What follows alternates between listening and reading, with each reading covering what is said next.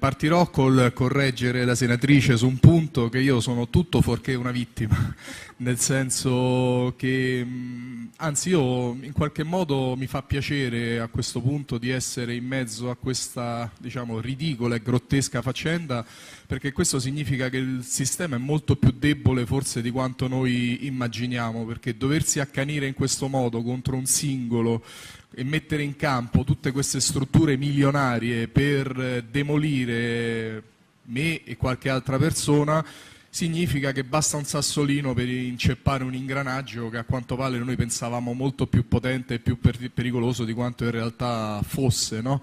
Perché è chiaro, sì, a me creano un po' di problemi perché adesso nel palazzo mi guardano tutti con aria un po' circospetta, quando accompagno mio figlio all'asilo c'è qualcuno che cammina raso alla parete, eh, no, voi ridete, ma è così, no? Eh, cioè, nel quartiere sono amato, temuto, cioè, sembra quasi un boss mafioso, no? Si apre il mare, no? Sembra un Mosè quando attraversa le acque del Mar Rosso, no?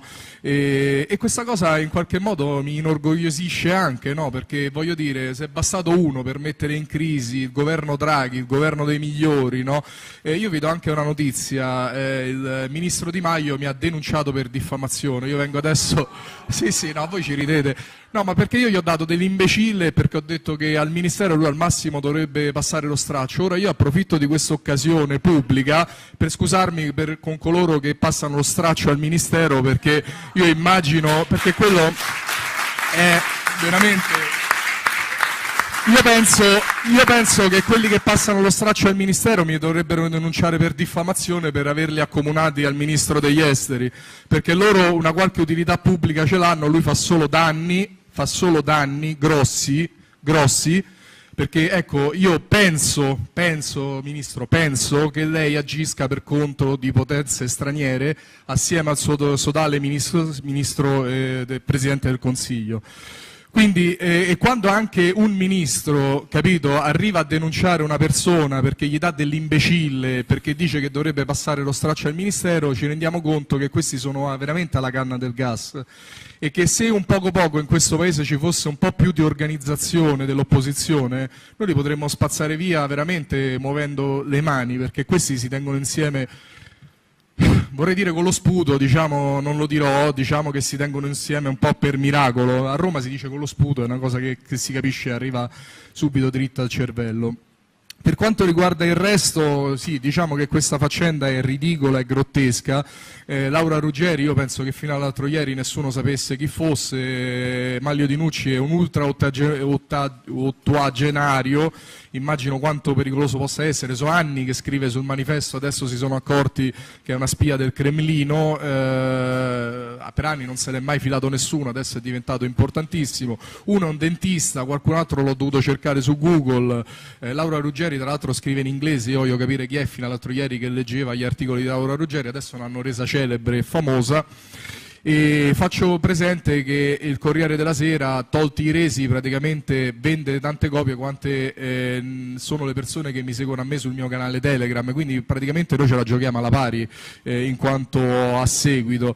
E questo chiaramente che a loro fa paura. E, e quando io ho avuto la discussione con la vice direttrice Fiorenza Sarzanini, persona che io sinceramente stimavo eh, prima della pandemia, ehm, è che a loro a quello che fa paura non è che quello che diciamo noi sia vero o falso, falso, perché questo loro è del tutto secondario, come del tutto è secondario quello che pubblicano loro, che sia vero o che sia falso, a loro non interessa che sia vero o sia falso. Quello che loro temono dal nostro punto di vista è la superdiffusione, perché la superdiffusione è un qualcosa che spetta soltanto a loro. A loro fa, quello che fa paura è che quello che io dico e che scrivo venga seguito da centinaia di migliaia di persone che a loro volta lo rimandano e che quindi arriva a milioni di persone. Siccome i social sono una struttura militare e se avessimo tempo io vi spiegherei in che modo e per quale motivo sono una struttura militare, militare, cioè ideata, concepita in ambienti militari, perché questa oggi è la vera arma di distruzione di massa, sono i social network, che lavorano in combinazione con i media mainstream, perché i media mainstream che non legge nessuno sono però un qualcosa che certifica la narrazione dominante. Questa narrazione dominante viene immessa nei circuiti dei social network dagli influencer loro, che a loro volta la super diffondono. Quindi se qualcun altro gli ritorce come un judoka il giochino contro, a loro questa cosa non va bene e quindi stanno cercando in tutti i modi di limitare la super diffusione ed è per questo motivo che il sottoscritto in epoca di pandemia è stato bloccato su Facebook eh, 10 mesi, di cui 5 mesi in maniera continuativa. Poi nel momento stesso in cui vengo sbloccato il mio account Facebook cresce di 50.000 persone nell'arco di due mesi e chiaramente questo loro non se lo possono permettere. Ma perché accade questo? Sarò molto veloce per non, trarre, per non sottrarre tempo agli altri relatori. Noi lo vediamo in Ucraina, è molto chiaro, quello che succede in Ucraina è molto evidente. Quando un paese è governato eh, da una eh, minoranza che agisce per conto terzi, ne, nel momento stesso in cui fa scelte suicide, l'unico modo che ha per portarla a compimento è silenziare completamente l'opposizione, che di fatto è stata messa fuori legge, i giornalisti sono stati ammazzati, il Corriere della Sera ha corretto il buon Fazzolo dicendo lui ha detto che erano 80, il Corriere ha detto sono solo 40, quindi è chiaro che se ammazzi 40 giornalisti di opposizione è qualcosa di ammissibile, 80 forse sono un po' troppi, però 40 si può fare, no?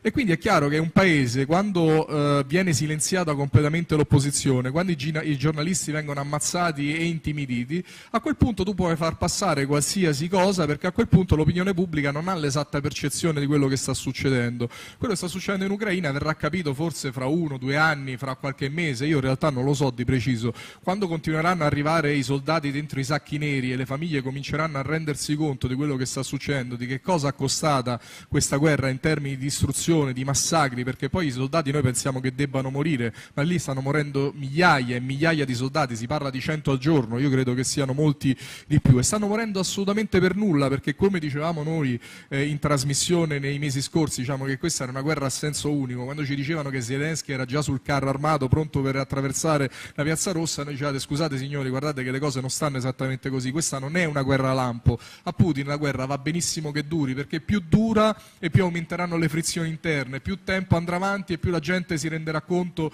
che il governo l'ha spedito il paese in una scelta suicida. Ed è stato possibile semplicemente perché le opposizioni sono state silenziate. Ed è la stessa cosa che sta succedendo in Italia. Il paese è governato da dei pazzi, da dei criminali, da gente che sta andando contro l'interesse nazionale. Perché come dice il Corriere della Sera, io qual è stato il mio reato? Dire che le scelte del governo sono suicide. E questa cosa non è che la dico da quando lo dice mm, l'ambasciatore russo. Io sono stato bloccato a settembre da Facebook per aver fatto un post dal titolo Il lanciafiamme delle mutande e parlavo del caro bollette e imputavo una delle cause del caro bollette era la politica suicida nei confronti della Russia, il voler uscire dai, dai contratti a lungo termine e andare nel mercato spot. Ci voleva uno scienziato per capirlo, poi la gente si ritrova a pagare 1000 euro l'anno in più di energia elettrica, la benzina è arrivata a oltre 2 euro al litro. Che altro dobbiamo fare? In assenza di opposizione queste scelte possono passare, può, può passare il fatto che le industrie debbano chiudere, che gli italiani debbano pagare più soldi, andare, mandare le armi in maniera incostituzionale a un paese.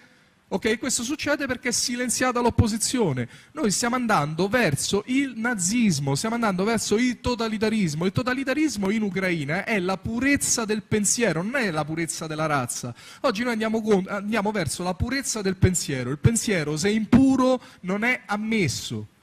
Esistono i pensieri conformi e i pensieri difformi. I pensieri difformi devono essere silenziati e non devono avere diffusione. E questo è un pericolo gigantesco, signori miei e signore mie.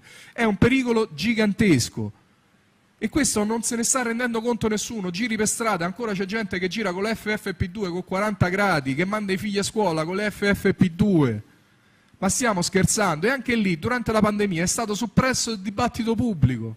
E in questo caso sono fatte scelte suicide, scelte suicide perché i nostri figli le pagheranno per decenni questi condizionamenti psicologici, perché noi oggi non ce ne rendiamo conto, ce ne rendiamo conto fra 3, 4, 5, 10 anni del danno che stiamo facendo.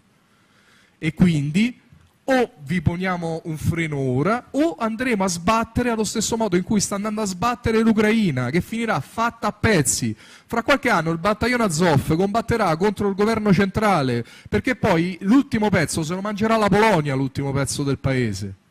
Okay? E questo è stato dovuto a scelte suicide, è stato dovuto alla soppressione del dibattito pubblico. E quando noi andremo a sbattere contro il muro di cemento armato, noi Italia, noi italiani, quando ci domanderemo che cosa è successo, Dovremmo ritornare indietro alle liste di proscrizione, dovremmo tornare indietro a un Parlamento completamente appiattito sulle posizioni del governo, perché ci dicono che in Russia c'è la dittatura, ma in Russia uno o due partiti da chiudere ci stanno, qui in Italia non c'è un partito da chiudere. Non c'è, perché sono tutti schierati, tutti appiattiti, non c'è un giornale da chiudere in Italia, non c'è un intellettuale da arrestare, perché gli intellettuali sono tutti appiattiti.